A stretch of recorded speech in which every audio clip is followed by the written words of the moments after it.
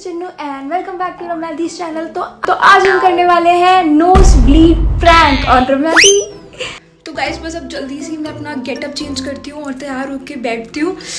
I just hope वो मान जाए और मैं थोड़ी सी एक्टिंग कर पाऊँ, क्योंकि लिटरली मेरे को रोना नहीं आ रहा। तो लेट्स जस्ट होप कि आज का प्रैंक सक्सेसफुल हो और अगर आप चाहते हो कि मैं ऐसे और प्रैंक्स करूँ उन पे तो नीचे कमेंट करना मत भूलना। According to CMI survey India में करीबन 5.3 करोड़ लोग अनएम्प्लॉयड हैं, जिसमें से 1.7 तो वुमेन ही इसके भी कई रीजन है, जैसे फैमिली की केयर करने के लिए करियर का ब्रेक और एज इंक्रीज होते होते काफ़ी अपॉर्चुनिटीज़ भी डिक्रीज होने लग जाती है इन जनरल तो आप इसको अपने नज़रिए से देखें तो आपको दिखेगा कि इसमें थोड़ा बहुत बायस तो है। So this is Swati Rani जिन्होंने सेल्स को एक्सप्लोर करने के बाद एचआर में जॉब लिया ग्रीडी गेम्स में। जी हाँ इनके पास ऑप्शन दोनों स्ट्रीम्स में थे बट इन्होंने अपने हिसाब से बेस्ट ऑप्शन चूज़ किया और अपने करियर के, अपने पसंद के करियर के हिसाब से। निशा गुप्ता, जिन्होंने दस साल बाद अपना करियर वापस शुरू किया। किया डायमंड ऑन कॉल्स कंपनी में इन्होंने सेल्स एग्जीक्यूटिव की जॉब ली। हाँ इन्होंने अपने बेटे के ख्याल रखने के लिए ब्रेक ज़रूर लिया था काम से बट अपने एम्बिशन से नहीं लिया था। और ये सब पॉसिबल हो पाया एक सिंपल सा टेस्ट देके री लेवल बाय अन अकेडमी से। सो so, इंडिया की 200 plus top product based companies hire कर रही हैं थ्रू री लेवल और ये सारी सक्सेस स्टोरीज इसलिए पॉसिबल हो पाई क्योंकि री लेवल के थ्रू आपको आपकी जॉब स्किल के बेसिस पे मिलती है। चाहे आप फ्रेशर हो, आप करियर स्विच करना चाहते हो, आप एक्सट्रीमली प्रोफेशनल हो, और तो भी आप करियर स्विच करना चाहते हो। सो री लेवल इज़ द वे तो री लेवल ने अब तक 30 करोड़ रुपए के जॉब्स डिलीवर किए हैं, जिसमें से पिछले मंथ ही 36 लाख वर्थ जॉब डिलीवर हुए हैं डेली कुछ दिनों पहले ही री लेवल ने पाँच न्यू टेस्ट रिलीज़ करे हैं, जिनकी कैटेगरीज है project associate electrical engineering graphic designing mechanical engineering and finance अभी आपके पास 18 कैटेगरीज में टेस्ट देने का मौका है. सो so, सो so आज आप इन सारी इंस्पायरिंग स्टोरी से सिर्फ़ एक क्लिक अवे हैं. मैंने डिस्क्रिप्शन में लिंक दे दिया है. आप वहाँ जाए और इनके प्लेटफॉर्म को डेफिनेटली चेकआउट करें क्योंकि Relevel is the way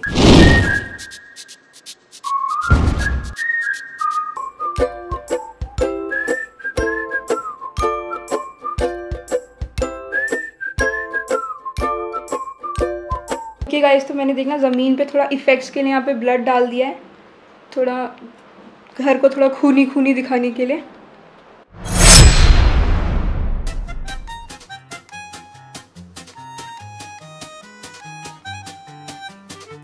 हाँ ये कर लो पहले।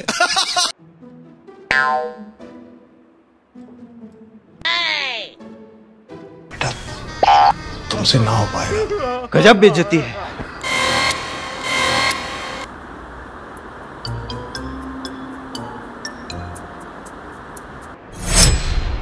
रम्या दीदी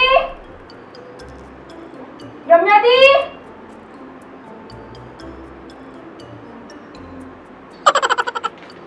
रम्या दी साला ये दुख का खत्म नहीं होता बे। Three, two, one. पता नहीं यार नाक में से खून ही नहीं रुक रहा पता नहीं मैं कब से ठंडा लगा रही हूँ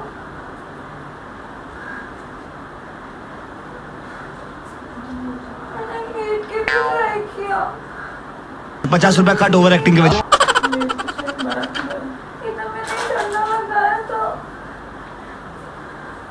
पता नहीं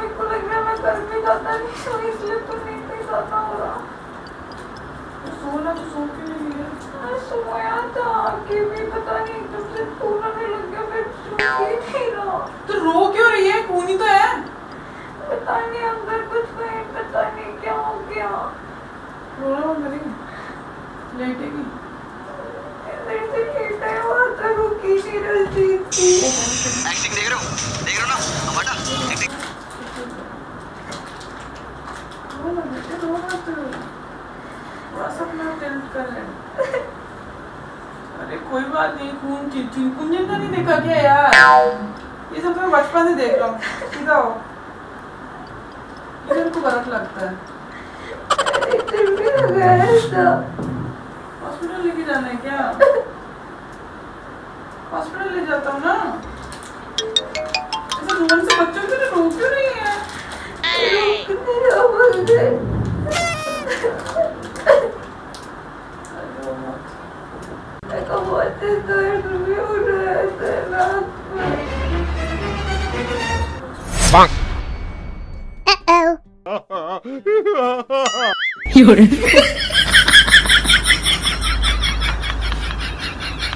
मम्मी आप सो रही हो क्या आवाज़ क्यों आ रही अच्छे से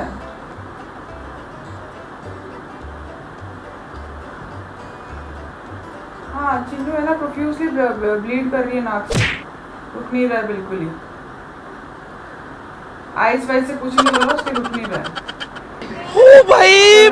मारो मुझे मारो।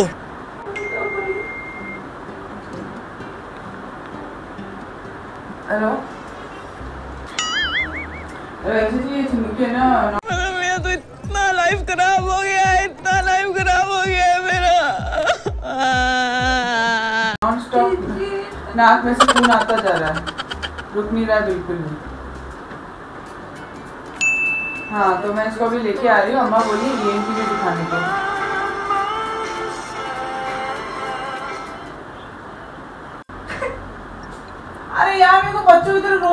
यार क्या हो रहा है? ये में जाके भी देख लेगी ना?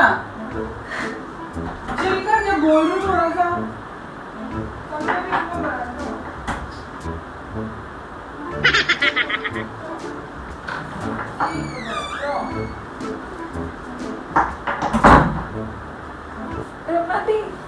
Yes. क्यों क्या दिखाना चाह रही है? नहीं। प्रैंक था। ये